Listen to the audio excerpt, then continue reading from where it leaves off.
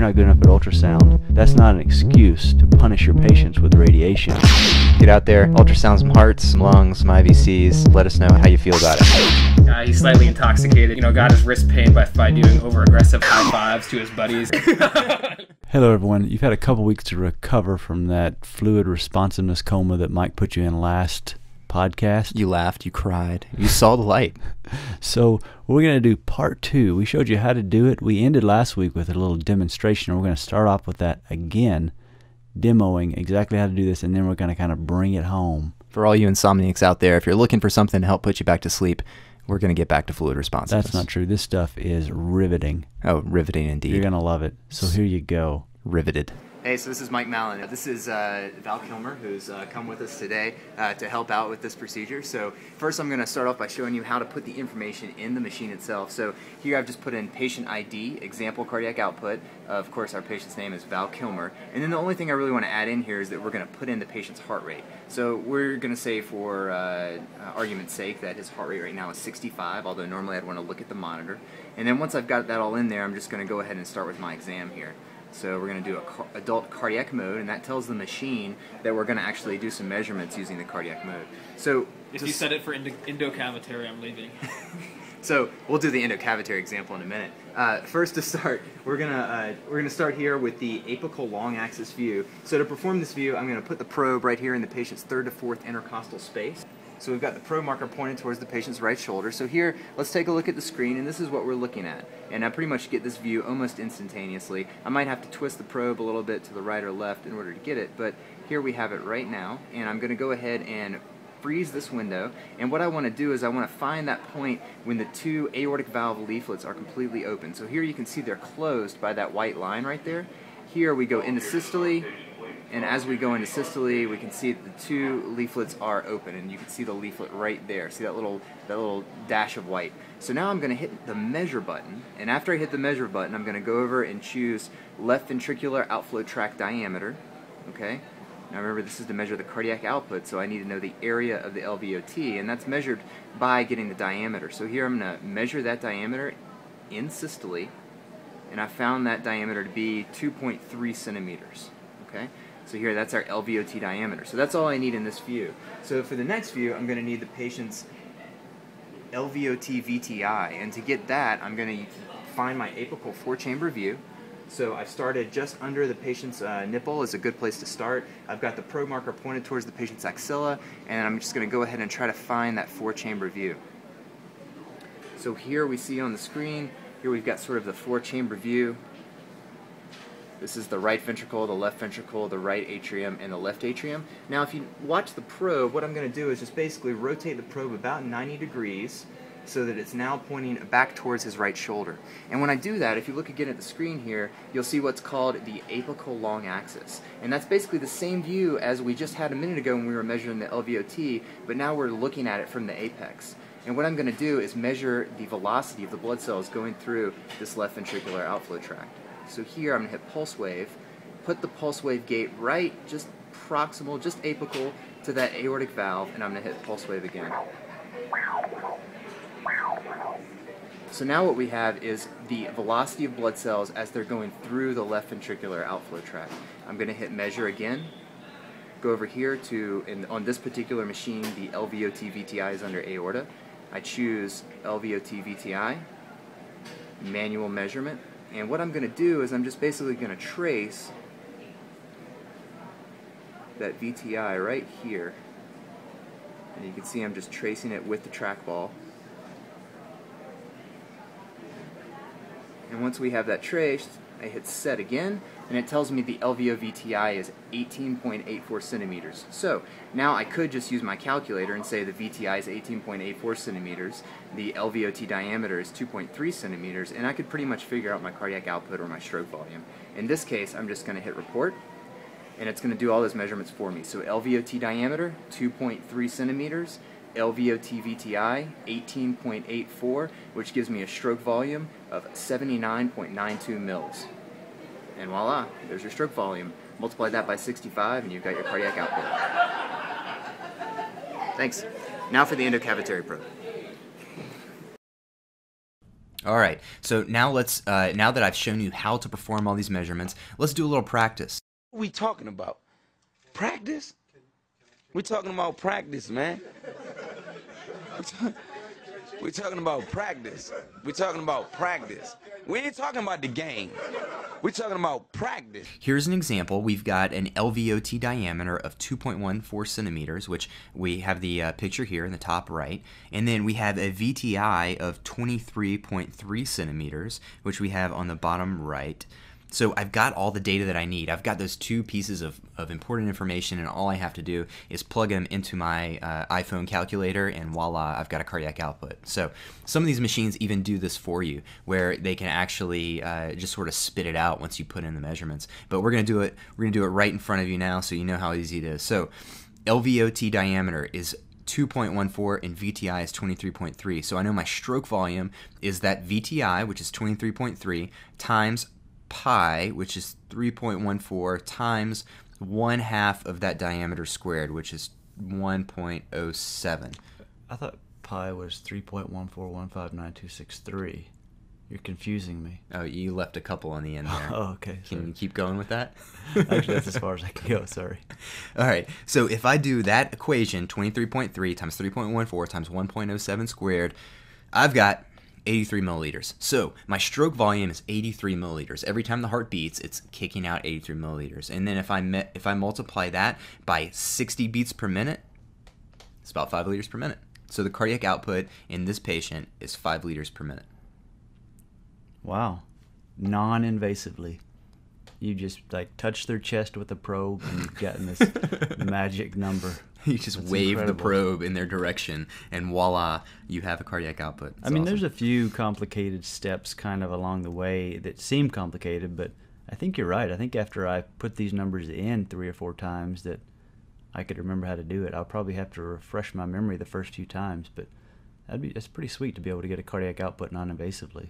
Yeah, it's kind of awesome. I mean, when you're talking about really sick patients, and then like all of a sudden you can you can see how everything that you do is affecting the patient. I mean, you can do this with more than just passive leg raise. You can start the patient on dobutamine and see how their cardiac output responds to dobutamine, or when you start them on Levophed, see how it changes. I mean, you can really see the effects of everything that you do in a in a sick septic patient. So now that I've got a cardiac output, how is that going to help me manage the patient? All right, so here we go. So, uh, multiple studies suggest that the validity of a passive leg raise testing is pretty good in spontaneous breathing. And here's one of them. This is a study that was in intensive care medicine in 2007. And they basically came to the conclusion that in spontaneously breathing patients, an increase of cardiac output by 5% with a passive leg raise makes you a fluid responder. So so so I measure this cardiac output output, then I do the passive leg raise. I measure it again, and if it's changes more than five percent, then that means their heart liked that extra 500 cc's. Exactly. And they're gonna like a 500 cc's in their IV. Exactly. So that's and that's that's with a pretty high sensitivity. So that's a 94% sensitivity. I think the better way to do this is with 10%. So if the cardiac output increases 10%, you're going to increase your specificity to about 95%, which is probably a little bit more important in this patient population. And so I'm assuming if their cardiac output actually decreased or they quit breathing, then I should put their legs down. If they quit breathing, you should probably put their legs down. That's an excellent assumption, Matt, and maybe intubate them uh, and consider something doing. And I should put their legs down uh, without even going through all that, tho- those measurements to get the cardiac output. that, that would be an excellent Okay. plan. All right, great. All right. The other people have looked at this with aortic flow too, and they found that just the velocity going through the aortic valve, uh, basically, if that increases by greater than 10% with a passive leg raise, then the patient is also a fluid responder. And they had a really good sensitivity and specificity of 97 and 94, respectively. The problem with this is, and the reason I'm not teaching you guys how to do aortic flow, is that you have to have continuous wave Doppler to measure the velocity through the aortic valve, and uh, we most machines don't have that. I think we have it in our in our place, um, but most most of the machines out there right now are not doing continuous wave Doppler. So your Echo techs can do this, but you probably can't really get it get it done at the bedside. So in summary, we're going to obtain a baseline cardiac output because why not? we're going to raise the legs up and repeat that cardiac output. We're going to see if the cardiac increase cardiac output increases by 10 to 12%, and if it does, we're going to give them fluid. Wait a second. Uh, What was that five percent? The 5% is high sensitivity. So we're going with 10. That was just what their their paper showed 5% high sensitivity. We're going with 10% because specificity is more important. So what if the cardiac output increases by seven percent? Do you want me to give them fluid or not? You're going to have to make that decision for yourself.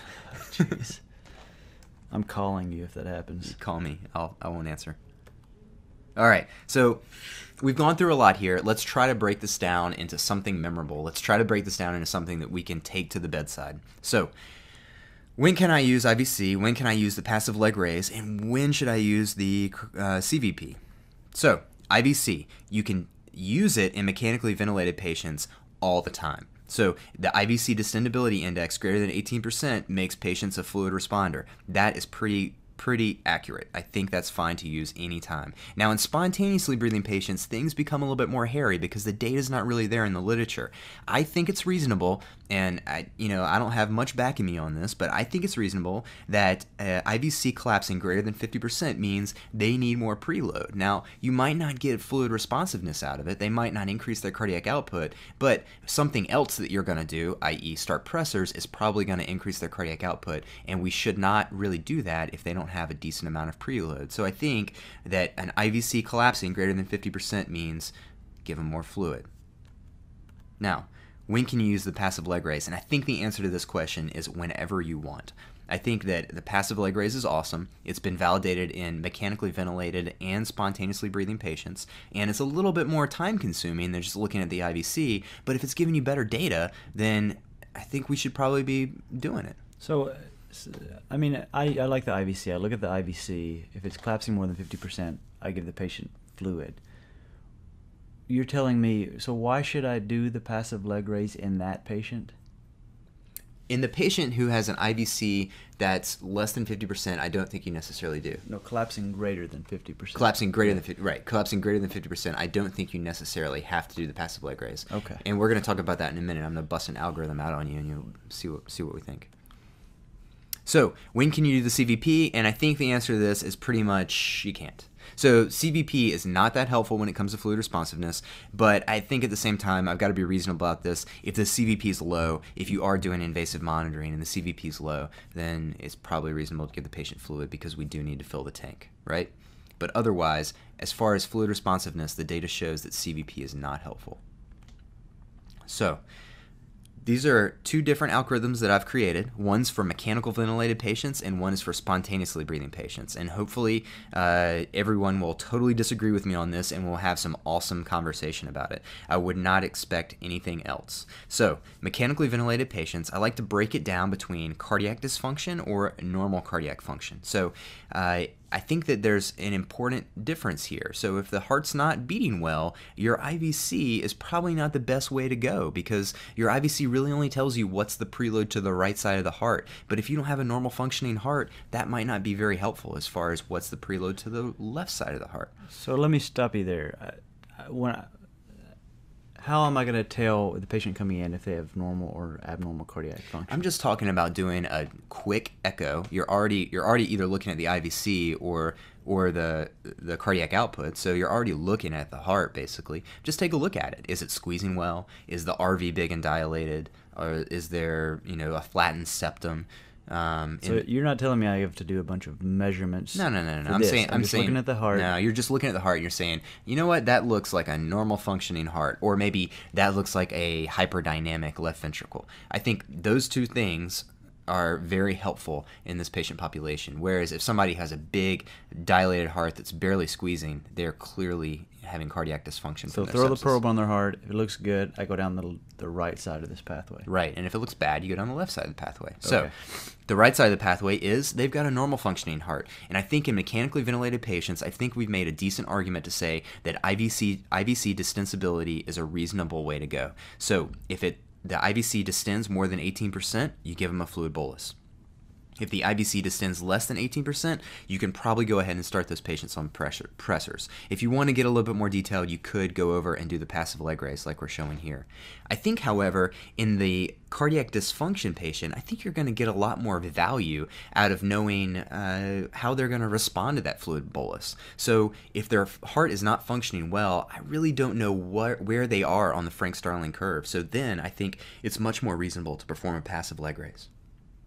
And in the passive leg raise case, if their cardiac output is less than 12%, you put them on pressors. If their cardiac output increases by more than 12%, you give them another fluid bolus. It's that simple. So that's mechanical ventilation. And then the the algorithm doesn't really change too much for spontaneous ventilation except for the in the case of the IVC. So I think same thing we're going to we're to break it up between normal cardiac function and abnormal cardiac function. And in the normal function side, I'm going to be a little bit more delicate about how I use that IVC. So I think if the IVC collapse is greater than 50%, you're safe to go ahead and give them a fluid bolus. Because, like I was saying before, they don't have enough preload on board. Their CVP is definitely less than eight, and I think that that's that's sort of helpful in the sense that whether the fluid increases their cardiac output or whether I give them the fluid bolus and nothing happens and I still end up putting them on pressors, either way, we still need to fill the fill the tank. Whereas if the IVC collapse is less than 50%, I really think we need to look deeper. And in th- that case, we go over and do the passive leg raise. Same thing for the cardiac dis- dysfunction patient. I think we go straight to the passive leg raise. And in that case, if cardiac output output doesn't uh, increase by 12%, then we give them fluid. We put them on pressors. If it increases by 12% or more, we uh, give them a fluid bolus. Okay, so give them a fluid bolus. However, when we first started talking about this, we were talking about how much fluid. Is there any literature on that? Is there anything to say if the cardiac output changes a certain amount, we should give them more or less fluid, or do you think we have to just do the 500 cc's because that's what we tested them with, and then try it again, kind of thing? Yeah, I think I think you're probably safe at around a liter, and that's kind of how I do this. So when when I find that their cardiac output changes by you know greater than 10 or 12 percent, I'll give them a liter of fluid, um, which is probably a reasonable amount, and then sort of reassess. Then you're going to do another passive leg raise, or yeah. All right. So that's that's uh, that's what we got. What do you what do you think, Matt? You think I'm crazy? No, I can't wait. I mean, I'm just uh, the whole time that you're talking about this, I'm just thinking about how cool I'm going to look raising everybody's legs in the department. How awesome it's going to be when uh, everybody asks me what I'm doing, and I look at them like, "What are you talking about? What I'm doing? Passive leg raise? Come on, get with the program." so I'm just picturing all the patients in the emergency department with their legs up, everybody echoing every patient. It's going to be so so sweet. Awesome. Cool. Well, uh, we'd love to hear what you guys have to think. Uh, please write us. Uh, don't be too nasty in your emails. Uh, not too much profanity, please. But uh, I'd love to hear your thoughts.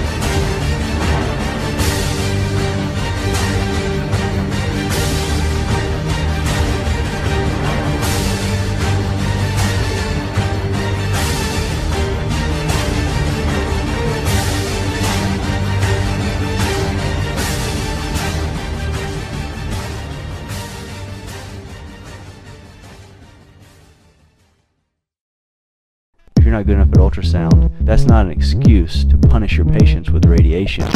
Get out there, ultrasound some hearts, some lungs, some IVCs. Let us know how you feel about it.